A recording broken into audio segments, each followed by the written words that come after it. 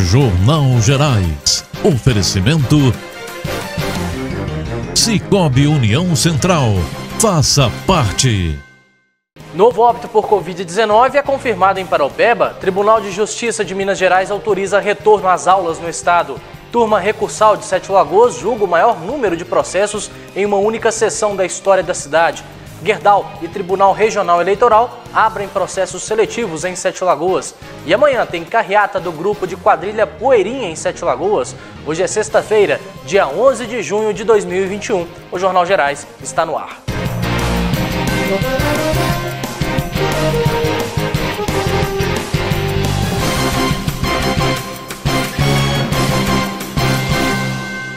Boa noite.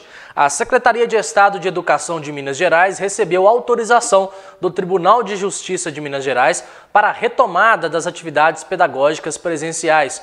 O retorno será seguro com regras de distanciamento e de higienização gradual, começando apenas com as turmas do primeiro ao quinto ano do ensino fundamental e facultativo, em que cada família decide se quer retornar presencialmente nos municípios que estiverem nas ondas verde e amarela do Plano Minas Consciente e onde a prefeitura não apresentar restrições. Com essa decisão, a secretaria anuncia que os profissionais de educação retomam o trabalho presencial para a preparação das escolas. Já os alunos retornam no dia 21 de junho. Neste momento estão em onda amarela as regiões Triângulo Norte e Vale do Aço.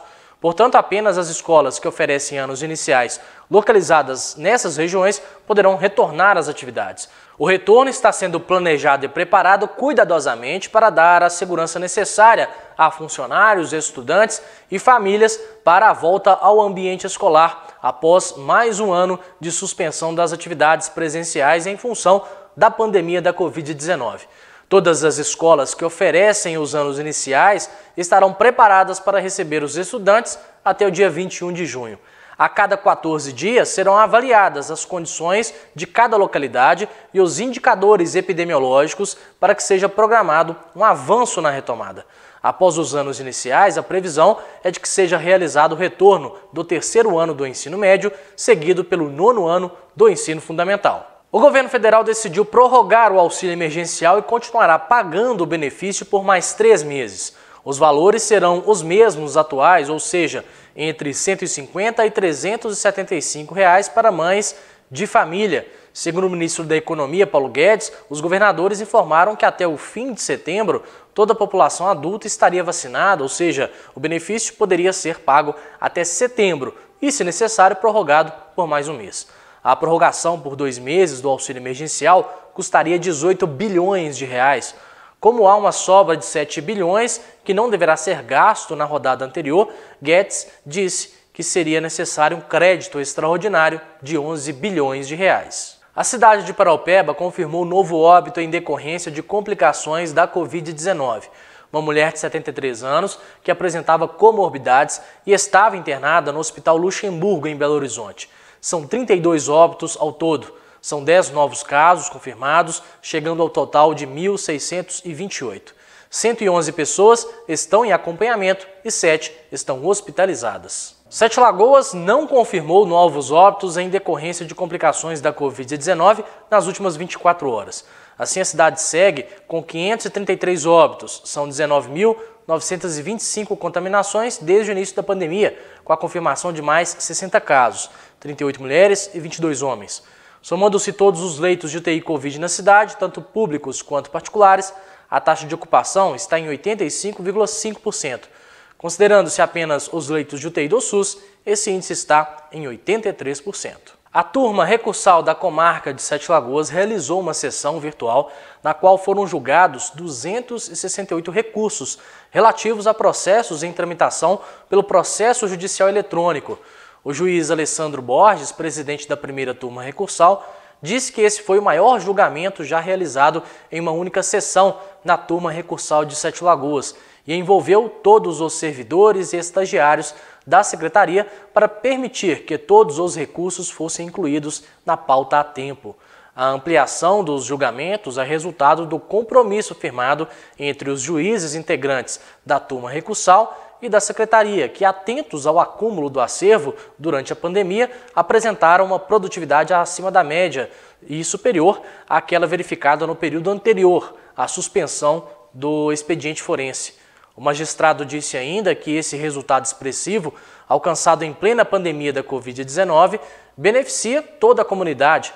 A sessão de julgamento dos recursos ocorreu no último dia 26 de abril. A Gerdau, maior empresa brasileira produtora de aço, acaba de abrir inscrições para o programa de aprendizagem com vagas para Sete Lagoas.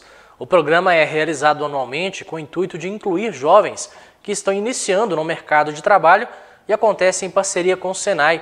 São 10 vagas para o curso de eletromecânica, com duração de 18 meses.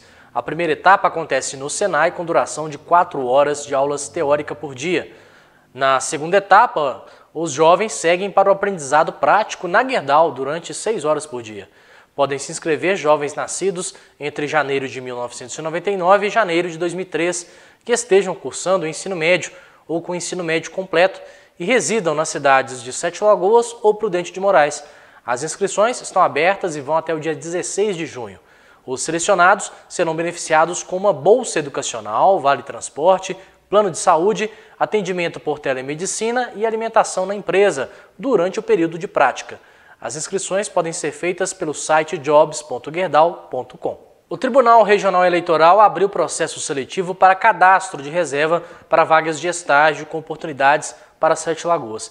A seleção busca estudantes de graduação dos cursos de Administração, Pedagogia, Recursos Humanos, Assistência Social e Letras. O estágio terá duração de 1 a 6 meses, podendo ser prorrogado. A carga horária de trabalho é de 20 horas semanais, com jornada diária de 4 horas. O estagiário receberá uma bolsa de 855 reais e auxílio transporte. Há vagas também para a cidade de Curvelo. As inscrições podem ser feitas até o dia 20 de junho. Todas as informações estão disponíveis no site do TRE em Minas Gerais.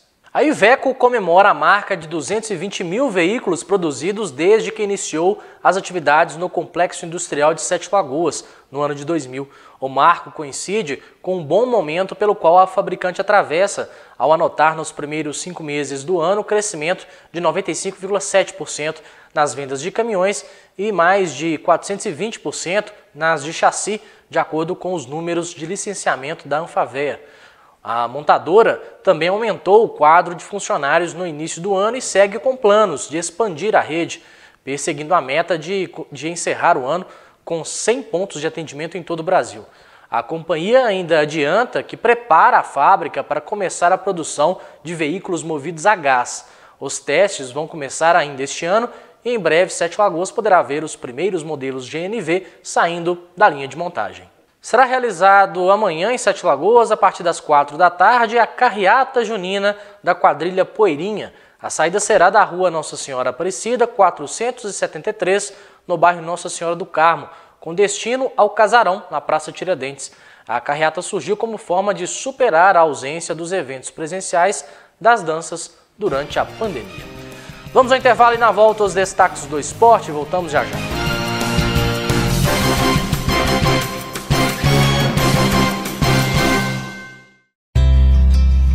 A Empremed oferece a você conforto e qualidade. A gente atua no mercado com médico 24 horas, com mais de 30 especialidades, com laboratórios internos, com raio-x, com centro de imagem completo, com mamografia, com ultrassom. A Dental Company disponibiliza três consultórios odontológicos aqui na Empremed Multiclínica. São consultórios modernos e bem equipados. Pensando em você crescemos e nos tornamos referência em Sete Lagoas.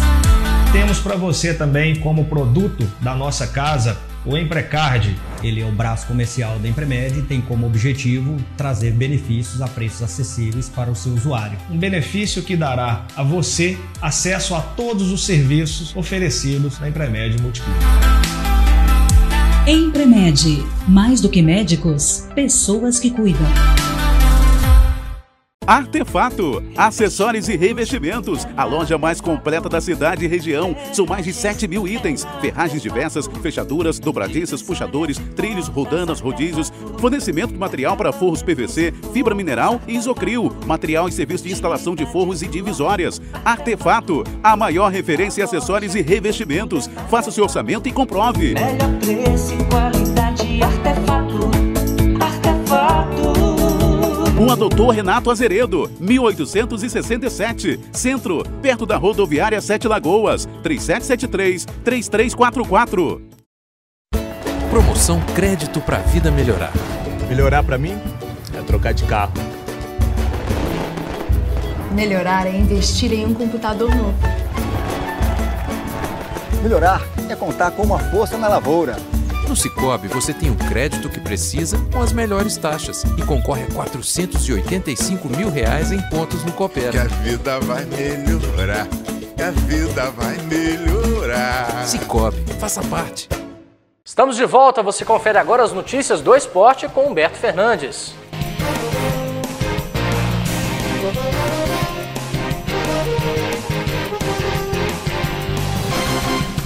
Esportes Gerais Oferecimento: artefato, acessórios e revestimentos. Humberto Fernandes já conosco aqui para falarmos de esportes. Boa noite, Humberto. Mais um gigante caiu na terceira fase da Copa do Brasil. Boa noite, Davidson. Boa noite a todos. Sim, o Inter está eliminado aí da competição. Jogando em casa, foi derrotado pelo Vitória por 3 a 1, que reverteu o placar sofrido na primeira partida quando foi derrotado por 1 a 0. Samuel, Eduardo e Guilherme Santos marcaram para os baianos, enquanto Johnny descontou para os colorados. O Vitória, que já havia eliminado o Inter antes, em edições passadas aí da Copa do Brasil, fez história no Beira Rio, hein? Foi a primeira vez que o Leão venceu por dois gols de diferença em Porto Alegre. O Fortaleza bateu o Ceará por 3 a 0 e avançou às oitavas de final da Copa do Brasil. Os gols foram marcados por Felipe e David, ex-cruzeiro, hein? Marcou duas vezes. Com a classificação assegurada, o Leão vai receber mais 2 milhões e 700 mil reais de premiação. O Grêmio não venceu, mas está classificado. Ontem apenas empatou em 0 a 0 com o Brasiliense. Como havia vencido a primeira partida em Porto Alegre por 2 a 0, avançou à próxima fase. O Flamengo encaminhou a classificação ao vencer o jogo de ida por 1 a 0 diante do Coritiba. Essa partida foi no Couto Pereira. O gol foi de Rodrigo Muniz. A partida de volta, que fecha esta terceira fase, vai acontecer na semana que vem, quarta-feira, no Maracanã. Humberto, e o Atlético confirmou aí o favoritismo e avança para a próxima fase. Sim, jogando em casa, o, o Davis, e com uma boa vantagem obtida no primeiro jogo, vitória por 2 a 0, o Galo voltou a vencer o Remo na noite de ontem. Hever fez no primeiro tempo um belo gol de cabeça após cobrança de escanteio. O Remo conseguiu a igualdade no finalzinho da primeira etapa. Logo no início do segundo tempo, Hulk voltou a marcar e marcou de pênalti o gol da vitória. Romércio, que foi o jogador, aliás, zagueiro, né, que descontou para o Leão, fez também um bonito gol. E o Leão desperdiçou uma cobrança de pênalti. Felipe Gedós, no segundo tempo, acabou é, deixando escapar e a oportunidade até de empatar o jogo. O zagueiro Hever foi o grande destaque da partida. Ele marcou o 29 gol com a camisa alvinegra. Além do gol, ainda sofreu pênalti convertido por Hulk. O Atlético avança à próxima fase e garante aí os 2 milhões e 700 mil reais de premiação. Vamos acompanhar o que de mais importante falou o técnico Cuca na tradicional coletiva. É, eu não cravei, né? Eu, eu sinalizei, como você bem falou. Aí ontem vocês viram o que aconteceu. Viram quantos times que, que ficaram fora da competição, clubes importantíssimos do cenário, porque essa Copa do Brasil ela, ela aplica peças, né? surpresas, né? E eu pesei muito em relação a tudo isso. Não é porque você tem uma vantagem de 2 a 0 que está definido. A prova é a qualidade que o, que o adversário teve. É um time de Série B, o Remo, mas muito organizado, time muito ajustado, que joga o jogo e nos trouxe bastante, nos deu bastante trabalho. Então eu resolvi pôr é, praticamente força máxima e durante o jogo ir tirando o pessoal para dar uma preservada, né? Essa foi a ideia e acredito que ela tenha sido bem executada. A gente conseguiu a vitória, conseguimos jogar muito bem, na minha opinião, apesar de um, de um placar magro, né? Um 2 a 1 um, nós demos três bolas na trave, nós criamos muitas chances e poderíamos ter tido um trabalho menos difícil, né? Porque o 2 a 1 um fica perigoso sempre até o finalzinho. Mas importante que nós vencemos. E essa equipe do Remo aí, eles jogaram 18 jogos esse ano. Perderam só as duas para nós, né? Então a gente tem que valorizar essa classificação e valorizar o adversário também, que foi muito eh, trabalhoso para nós. Agora o Atlético volta suas atenções para o Brasileirão Série A. Domingo recebe no Mineirão o São Paulo. Às quatro da tarde, em partida válida pela terceira rodada. O Galo vai em busca da segunda vitória na competição. Pelo Campeonato Brasileiro Série A, o América também entra em campo no domingo e terá uma missão das mais difíceis. O adversário é o Flamengo, hein? Às 16 horas no Maracanã, o América que ainda não venceu na sua volta aí à elite do futebol brasileiro. É missão difícil realmente aí para o América. O, Humberto, e começou a era Mozart no Cruzeiro, né? Começou, viu? Vamos ver o que vai acontecer agora, né, no decorrer dessa temporada. O novo técnico do Cruzeiro, Moza Santos, que foi anunciado na última quarta-feira, já está trabalhando na montagem do time para tentar, no próximo sábado, amanhã, a reabilitação no Campeonato Brasileiro Série B. O time celeste foi derrotado nas duas primeiras rodadas. Na sua apresentação ontem, o novo comandante celeste demonstrou aí confiança na chegada ao Clube Mineiro. É, assim, eu, eu não, cabe a mim falar o que aconteceu, deixou de acontecer é, nos, últimos, nos últimos meses, no último período, e dos treinadores que passaram por aqui. É, eu, é, o Rodrigo Pastana foi o cara que me trouxe para cá, acredito muito no trabalho dele, nós temos uma sintonia importante em termos de. É, e falo isso porque assim, é, o, o, período que nós trabalhamos juntos nunca teve nenhum tipo de interferência, pelo contrário, existe trocas de, de, de ideias, mas não teve nenhum tipo de, de interferência. Então, assim, não vejo é, dificuldade alguma. Fui, é, e, e, assim, cabe a mim ressaltar aqui a maneira que eu fui recebido no clube. Fui muito bem recebido por, recebido por todos os profissionais que, que estão aqui. Então, assim, é, quero, eu encaro esse, esse desafio, que é um grande desafio na minha carreira, como uma página, página em branco, assim, e cabe cabe a mim, juntamente com, com a minha comissão e com os jogadores, escrever é, uma história da melhor maneira possível. Amanhã o Cruzeiro joga em casa, no Mineirão, às 21 horas, é contra o Goiás. Fica aí a expectativa né, com relação à escalação que o novo técnico mandará a campo. Humberto, agora a gente já pode confirmar, né? Vai ter Copa América. Agora sim, viu? Com o aval aí do Supremo Tribunal, a Copa América vai acontecer mesmo no Brasil. As ações contra a realização da Copa América foram rejeitadas pela maioria dos ministros. A abertura da competição será no domingo. Brasil e Venezuela fazem o jogo inaugural às 18 horas lá no estádio Mané Garrincha. É em Brasília, hein? A seleção brasileira se reapresentou nesta quinta-feira e já deu início à preparação visando o início da competição. Brasil e Venezuela estão no grupo B, juntamente com Colômbia e Equador, que também jogam no domingo às 21 horas na Arena Pantanal. Os jogos do grupo A acontecem na segunda-feira. Argentina e Chile às 18 horas no Engenhão, Paraguai e Bolívia às 21 horas no Olímpico em Goiás. Muito bem, Humberto traz para a gente todos os resultados do final de semana na segunda-feira. Antes da gente ir embora, Humberto, antes de te dar boa noite, já comprou o presente do Dia dos Namorados? Ah, com certeza, né? Tá garantido. Comprado, já tá garantido. tá bom, ótima noite, até segunda. Boa noite para você, boa noite a todos, um ótimo final de semana, até segunda. Ótima noite para você que acompanhou a edição de hoje do Jornal Gerais. Um bom final de semana, um bom dia dos namorados. E nós nos encontramos na segunda, às 18h40. Forte abraço, até lá.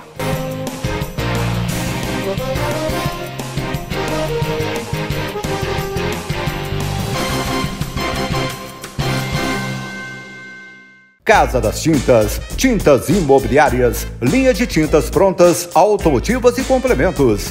Toda linha Souvenir, a melhor tinta do Brasil, nas cores prontas e self-color. São mais de 5 mil cores para você escolher. Casa das Tintas, ótimo atendimento e o menor preço. Parcelamos em até 10 vezes no cartão.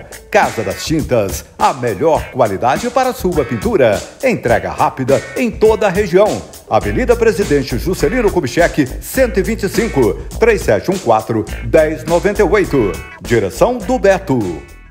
A Madeireira e Serraria Cássia está sempre pronta para atendê-lo, oferecendo os melhores e mais variados produtos para sua construção. Madeiras Tuturubá, Paraju, IP, Sucupira e outros. Temos eucalipto tratado, serviço de marcenaria e carpintaria. Serraria Cássia, excelência em atendimento, o melhor preço e entrega em toda a região. Há mais de 50 anos no mercado. Rua Quintino Moreira, 432, Centro. Parauapeba, 3714-1563. A Cicle Loja tem tudo o que você precisa. Os melhores produtos, muita variedade em móveis e eletrodomésticos. Tudo para deixar sua casa mais bonita. O quarto dos seus sonhos, sala de estar, sala de jantar com requinte e bom gosto. Armários, fogões de várias marcas, geladeiras, freezers, máquinas de lavar, bicicletas e tudo o que você procura em até 10 vezes sem juros no crediário ou cartão. E à vista tem desconto especial. Cicre Loja, sempre inovando para melhor lhe atender. Visite nossa página nas redes sociais pelo Instagram e o WhatsApp 31 98642 1451. Cicre Loja, tudo para fazer você feliz. Avenida Dom Cirilo 368.